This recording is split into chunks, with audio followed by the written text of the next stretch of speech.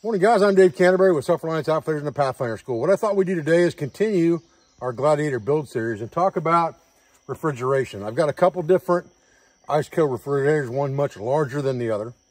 And I'd like to discuss the JP40 with you today because it's the one that I've been using most in my Gladiator. I've got a much larger version that we keep down at camp at the school to keep food in for the instructors for the weekend and cold drinks and things like that that we run off solar power. And I'm running this JP40 off the Jackery 1500 right now. And it does a really, really good job. I'll answer some of those questions as we go. But let's first talk about what this thing comes with and how it operates. Okay, so let's talk a little bit about how this thing comes in the box. You get it in the box. It comes with two handles that are disassembled inside the cooler. Not a big deal. It's a five minute job to put them on. They give you the tool to do that with. You get the regular receptacle plug that you can plug this thing into your house or into an extension cord so that you can keep the thing running. You also get a 12 volt plug, which I have plugged into it now, going to the Jackery so that you can run it off 12 volt DC. So it comes with an AC and a DC plug both. Now, it comes with this cover that zips over the top of it to give it some extra insulation. And it comes with an interior rack with divider. You've got a refrigerated area and you've got a freezer area. And then you can set this thing on economy mode or max mode to cool it down faster if you're trying to go from the bottom up. Okay, as you can see here on the back of this dude, you've got a 100 to 240 volt plug area here. And you can plug that, like I said, into the receptacle at your house or at a campground, something like that, if you're trying to keep this thing running or in your house in an emergency. You've got a fuse that you can't see behind this. It's a 15 amp fuse, just like a regular car fuse that you can pull out if it blows. And then you've got 12, 24 volt DC in, and that's what we're running right now. The control screen on this is pretty easy. Not sure why the numbers are flashing in the camera because they're not flashing on the unit. Must be something to do with filming speed. Kind of odd. I've never noticed anything like that before. I've got it set on max right now. It's sitting at 21 degrees. I just fired the thing back up from it being down and I'll put that footage in here. Somebody's going to ask about how this thing holds temperature if you lose power. And I actually ran this thing for almost a day and a half on no power and just let it sit. And the temperature went down to what you're seeing now, about 21 degrees from zero. So the temperature came up to 21 degrees from zero. Now I bring it back down to zero out here plugged into the Jackery again. Now I've got it recharged. I was on the road and didn't have a chance to charge it up. I had a couple guys asking about this cooler. What happens with power interruption? I let this Jackery run all the way to the bottom and it's been off for over 24 hours. I'm just now I got it back to 2% charge and turned this cooler back on. And when I turned it back on, it was at 28 degrees. So it's been off for over 24 hours and maintained below freezing temperature inside this unit. You've got plus minus settings here where you can drop down all the way to minus six. I've got it set on zero, zero right now. So it's cooling down to that. You have an econo mode and a max mode here by switching this control button here. And then you have an on off. You just hold the button down and it turns it off. Hold it down for three seconds again to turn it back on. Four simple buttons here. Very, very easy operation. And then it's got a simple lid that opens up here. Nice and cold inside. I've got some bratwurst in there, some steak fajita meat, some other steak for a stir fry in there. I've got some frozen chicken gizzards in there. And then I've got some pork chops in there. You can see the ice on that. That thing is frozen. So I've got one bottle of water in there and I've got a refrigerated section up here. It's got a couple Tropicana OJs in there and a couple cans of Monster in there.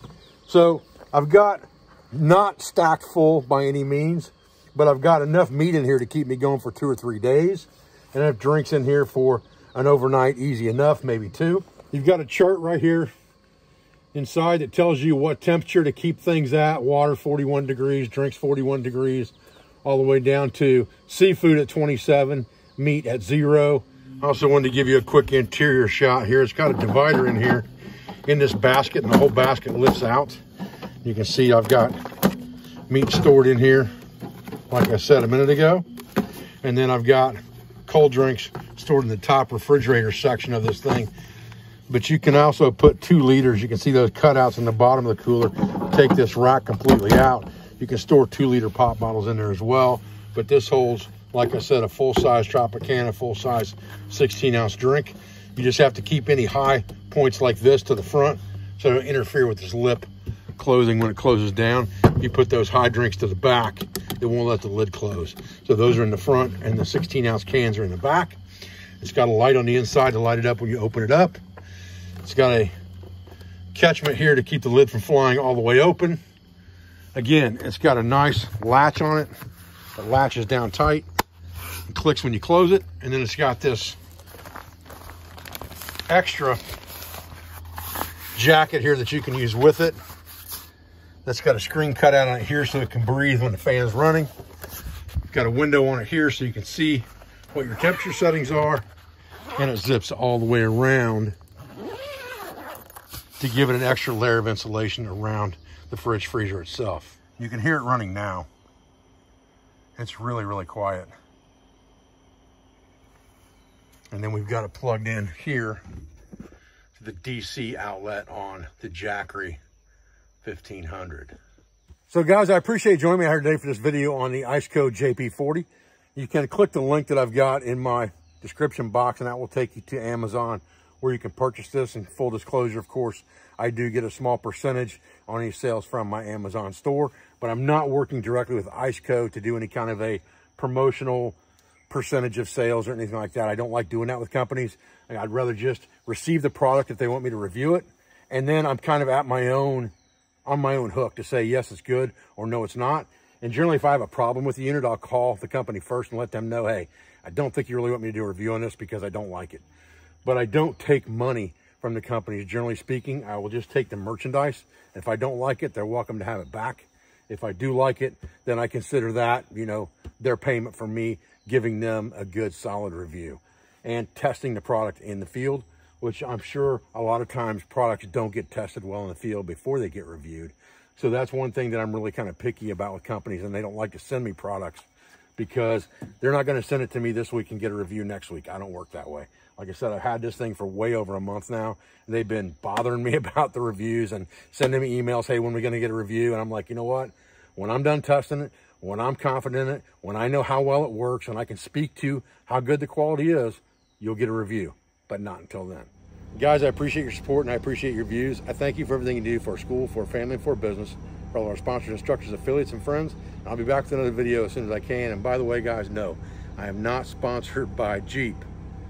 I've owned Jeep since 1981. I bought my first Jeep. I've had a Jeep almost ever since. I've had everything from Wagoneers to CJs to YJs, XJs, KJs, and now I've got a JT. So I've had lots and lots of Jeeps in my life, but this is the first brand new Jeep I ever bought and I like it really well. And that's why I kind of started doing videos surrounding this build because it's something that I enjoy doing. And if you're not enjoying doing it, why would you want to film it? Thanks, guys.